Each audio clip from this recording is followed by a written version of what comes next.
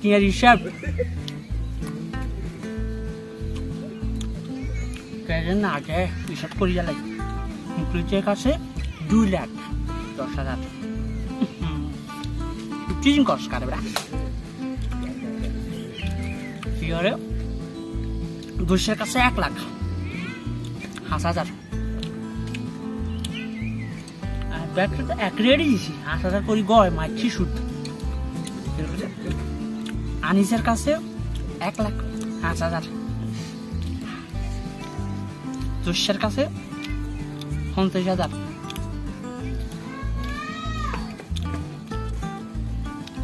আয় হাজার। এরপরে হালিমের কাছে উনত্রিশ হাজার।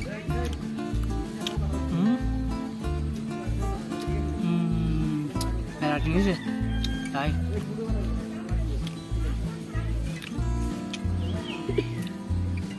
এবার তো হত কম রান্ধি তখন তো হত হইব। মিলে না পঁচিশ হাজার। আছে সব? গরু কিন্তু কালকে। ঈদ তাই এর ওকে কল দি। যে করে কল দি।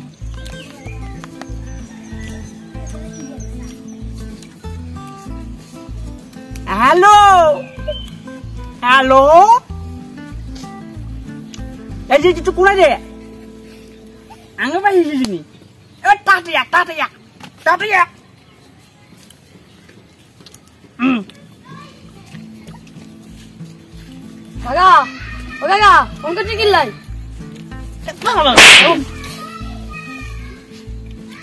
আমার সবাই দিলে সবাই জানে মানে? এই হিসাবের সময় গুরুত্বপূর্ণ হিসাব। কি হিসাব জানিস আলগা টিয়ার হিসাব। তুই বেটা কে কে গছ কিলাই আমি না আর আইটেম কইছি। আয় তুমি কইছি? তার না কোনো কে কইছে? ও ও আইছা হুন তোরা আই কইছি যে টেলাই ও ব কাকা লগ ব হুন। এই যে আটা গুতুন টিয়া লাগাইছি যে লাগা হাতে করি। এখন ইগুন উঠছে বুঝলি হুঁসি জায়গা উঠছে। হ্যাঁ এবার তুমি কাকা হট্ট কোন রান দিব? হট্ট করবান ওকে হ্যাঁ এবার হট্টে চড়িকে টড়িকে দি। গোস্ত কত গুদুর খাই মেঞ্জে দিলা থা না। তুই গোস্ত খেতে মারি না বুঝছ এবার রা গোস্ত কানা বে ভাই খাম বড়ি টাটে খাম হেড টাটা বটা করে মারি বুঝছ বাম্পার মাঞ্চার না টাকা তুমি একবার আইছে? বেটা মানুষের উপরে সুট উপর লাগাইছি যে ওই যে সুট আর কি বুঝিস না? আলগা টিয়া আর কি সুট করানোর দরকার নাই। আলগা টিয়া ওই যে লাগা টিয়া এগুলো হাইছি আর কি।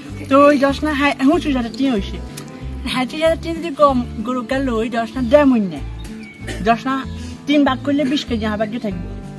আর এক মন মানুষের দিব তো নলে মানুষের কাছে কমাই দিলে ওইব তো বিশ কেজি বা পঁচিশ কেজি মেহমান টেমান আইব ওইতো নতো। তো দশ না পঁচিশ হাজার টিয়া মতো ওর টিয়া তো দশ হাজার শর্ট। যদি মানে কিলি লাগে আরও মারিয়ে আরও শেষ করছি। কাকা। কে রে তোরা কে শেষ করছে নো মান না। নমান্য লাগতে কোন আগাম করছে তো নমান্য ধরে এই অবস্থা করছে। হ্যাঁ? মুখ চুচা হলা লঙ্গিলে চলে যা নাসি লঙ্গিলে চলে যা আর। আদে তুমি সে নো মান আর হিডি বসকা দিছে। আহালা। আচ্ছা ঠ্যাং ভাঙছে নি তোর ঠ্যাং ভাঙছে নি? ঠ্যাং ভাঙিছে আনে বিচার আচ্ছা, করতে তোর কোনো টেনশনের অভাব নাই। সামনে গরু টুর করে একটা লাগা জিমে চাইরে বাদ দে। অঙ্ক তো। সে তোর তো করে রে কোনে রে? খালাই আমি চলে দেখছি নাম্বার আছে তো তোর আছে আছে। নম্বর দে নম্বর দে ক? 018 মুকাশ সর একশস আবা ওলান জিটি তো যা দা সেটা তো ওই ছুকাল তো মাথা খুলি নাম্বার লন। হ্যাঁ কা কা। 018 018 70 23 23 22 22 দাদা ফোন দেন। আচ্ছা বিচার করতে দেখছি খালাই ইমিগ্রেশন ইমিগ্রেশন গেছে? দেখতে ভালো যাবে হ্যালো! হ্যাঁ নমান্য নি রে। আরে আই তো কাগা হুম। অন্টু ইয়ারে রাজু রে হিট একটা ঠ্যাং হারা লাইছ কিলে গোটা ক তো তোরা লঙ্গি লঙ্গি বেটা কাম করস কিলে লঙ্গি লঙ্গি টানা টানি করছ তোরা কে দেশ কোনো কাম দেশ খালি হিট এডি করস। বা হিসের বেড়ে বেশি করে হিটবি ও না বেটা হিট এডি করছে যা। হুন। হ্যাঁ হ্যাঁ। আচ্ছা হুন। অঙ্কা হিটা আলাদা চালিশ লিয়ে আসে তোকে হান্ড্রেড বিশে দেবো। আর যে রায় তখন। এগিয়ে হান্ড্রেড বিশে দেবো বেটা জামানত বেটা হাঁস হাজার করে দশ হাজার যাবি আর কাছে তোকে হান্ড্রেড বিশে দেবো। হ্যাঁ। হ্যাঁ নিচে যাবি। ভাঙে একেবারে। দেখ।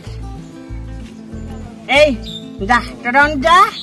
হান্ড্রে বিশে মিলামু। কোন দিন? আজকে নেই? আইয়া হান্ড্রে কটা বাজে? হান্ড্রে মাগি নম্বর হই মতো হান্ড্রে লগে দি বিশে বমু।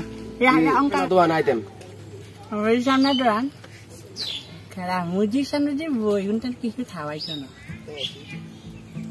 আর দোকান বললে তো ওনটা তো ভাঙে খাও হন মুজির সামনে দোকান কেন? একটা দোকানে বই দোকানে। এখন ওই এখানে বই হিয়ানে পরিবেশ সুন্দর আসছে হিয়ানে বলে প্রশ্ন, ওই না বই বড়টা জায়গা হিয়ানে আসছেন আচ্ছা আচ্ছা যা আর অন এই যে যা। আনার লাগবে নাকি তো বড় বেশি ভাঙি গেছে আইটু আচ্ছা তোমার সাথে বইলাম আসলে মাঝে দিয়ে বড়টা সাইলে যাই যা যা ঠিক আছে। বিচার কিন্তু ঠিক আছে নি? হ্যাঁ ভালো যাব। না মুখ হ্যাঁ মোকলা জীবন দশ হাজার টিয়া আট হাজার টিয়া তোর মেরতে মারুন রে। মুসি হাজার লাগে দশ হাজার টিয়া অ্যাড করুম আহ গরু খাইছি রে তুই পট্টা রে তত খাব আমরা।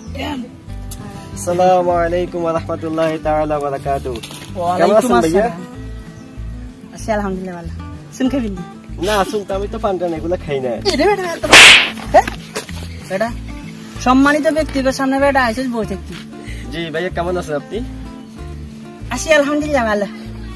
এখন তো কোরবান চলে আসছে আপনি কি কোরবান দিবেন না এবার? বাক্য শরীকে দিবেন আপনি। কোরবান তো দিবনি মানে এবার বড্ডা চাই হট্ট হট্ট কোরবান দিব। বুঝছেন অত অত একটা দিবেন আপনি। হ্যাঁ শরীকে দিলে তিন চার শরীকে দিলে গোষ্ঠ কম হয়তো বাদ করলে আর নিজে খাইতাম থানা। পেরে যদি বছর পরে খামু এটা আরও ইয়ে থানা। এটা এবার হতে দিয়ে। আর কথা আরে ভাই এবার তো টাকা টাকা কম। লকডাউনের কারণে টাকা টাকা কম। মানুষের কাছে কীভাবে একটা দিবেন আপনি? আরে ভাই আর কি চালান জানি। আর তা ইয়ে টিয়া ইয়ের এই আইয়ে। যে মানে কোথেকে আসে এত টাকা? দেখ মরি চলি যাক। আটে খালি আইয়ে। আটে আর অভাব না। মানে ব্যবসা করে লস কার দোয়ান বন্ধু তা লকডাউন শাটার ডাউন আর কত কিছু ডাউন হেড ডাউন তো না। আর খালি আপ ডাউন আর তা আপ ডাউন না আর খালি আইয়ের আইয়ে আইয়ের আর আইয়ে। আলগা ইনকাম আছে কোনো হালকা ইনকাম আরে নেন কারোর কইয়েন না। আই ওই সুদের উপরে মানে সুদ না আর কি মানে সুদ গায় সুদ কই না এটা কই ব্যবসা আর ব্যবসা। এটা হচ্ছে ইন্টারন্যাশনাল ব্যবসা ঠিক আছে? এটা হচ্ছে টিয়া ডি আর লাগে হাজার টিয়া মানে বুকা লাগে তো হাজার টি- লাখ লাখ টিয়া দিলে হাজার টিয়া করে আইয়ে। তো একা পঁচিশ হাজার টিয়া আইয়ে আগলা না? মাসে পঁচিশ হাজার। আর ওই জমা গাদি হুলাই নগরকে যদি ওসকাই দিছে পিলাই অনেকগুলো পিলার বিচার করব আনছে। এটার লাই দশ হাজার টিয়া জামানো বুঝুন তো? জামানো তো জামার জন্য কাল হিরে দিয়ে নি। আর পকেটে আপনি যে এই টাকাগুলো নিতেছেন এই টাকাগুলো শরীয়তে কি বৈধ নাকি? কি শরীয়ত? আমি খালি খালি এই কোরবানির ভিতরে শরীর ঢুকান কা। আল্লাহ আল্লাহ তালা তো পবিত্র কোরআনে বলছে যে আহাল্লাহুল বাইয়া ওয়া হারামার রিবা। আল্লাহ তালা পবিত্র কোরআনে ব্যবসাকে হারাম করছে এবং সুদকে হারাম করে দিয়েছে। যাত্রী সুদের টাকা দিয়ে কোরবান দিচ্ছেন এটা সম্পূর্ণরূপে হারাম। এই হারাম টাকা দিয়ে কোরবান করলে তো আপনার কোরবান হবে না। ভাই আবার কান আর কিন্তু জনে কানে নেটওয়ার্ক চলে গেছে। জি জি কোরবানের বিষয়ে আল্লাহ তালা স্পষ্টভাবে বলে দিচ্ছে যে কোরবানের শরিকদারের মাধ্যমে যদি কেউ হারাম টাকা ব্যবহার করে তাহলে টাকা দিয়ে যদি সে কোরবান দেয়, কোনোভাবে এটা গ্রহণযোগ্য হবে না আল্লাহ তাল্লাহ কাছে। এবং যদি আপনিও হারাম টাকা দিয়ে কোরবান দেন, তাহলে এটাও আল্লাহর কাছে কবুল হবে না। এখন এটার জন্য আপনাকে শাস্তি পেতে হবে। আল্লাহ তালা সুদের ব্যাপারে কঠোরভাবে বলছেন যে আহাল্লাহ ভাইয়া যে আমি ব্যবসাকে হালাল করে দিয়েছি বন্দার জন্য, কিন্তু আমার রিবা এবং সুদকে তাদের জন্য হারাম করে দিয়েছি। হারাম টাকা দিয়ে কোনোভাবে কোরবান দিলে আপনার কোরবান কবুল হবে না।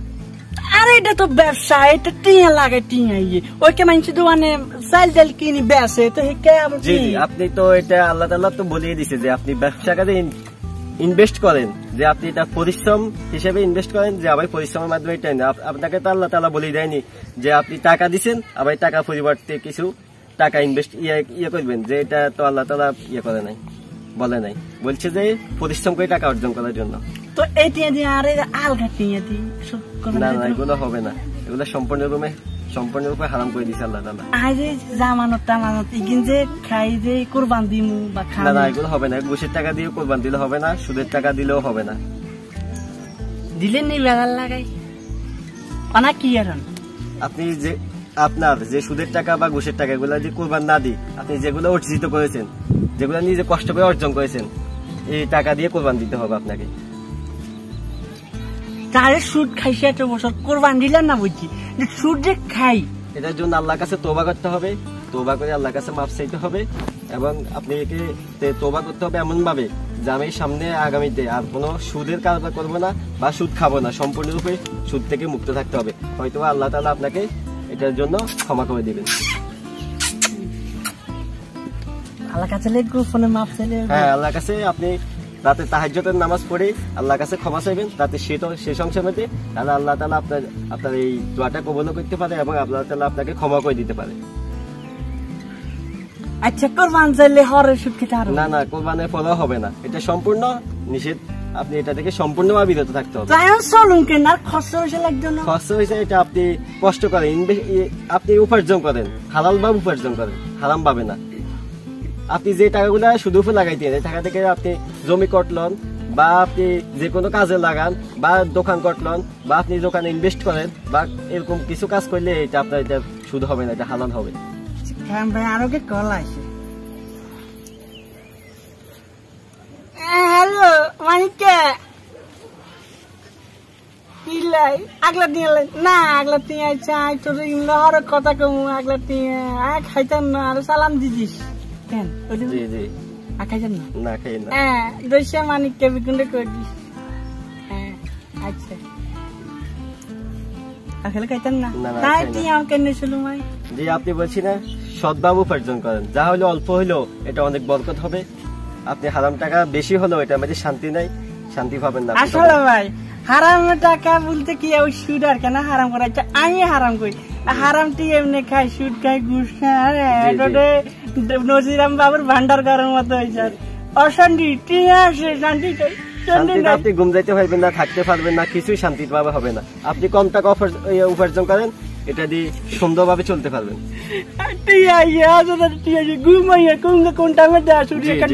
আপনি আল্লাহ কাছে ভালোভাবে তোবা করেন এবং আল্লাহ কাছে এটার জন্য ভালোভাবে পানা চান যে আল্লাহ আপনাকে অবশ্যই ক্ষমা করে দিবে। আচ্ছা। ভাই আল্লাহ আপনারে পাশে রাখ আল্লাহ আপনারে হয় আজ যেখানে ভালো পরামর্শ দেওয়ার জন্য? আচ্ছা ভাই আসসালামু আলাইকুম। আসসালামু আলাইকুম। আসসালামু আলাইকুম। আরে কুরবান হটিয়ে দিব। আহ।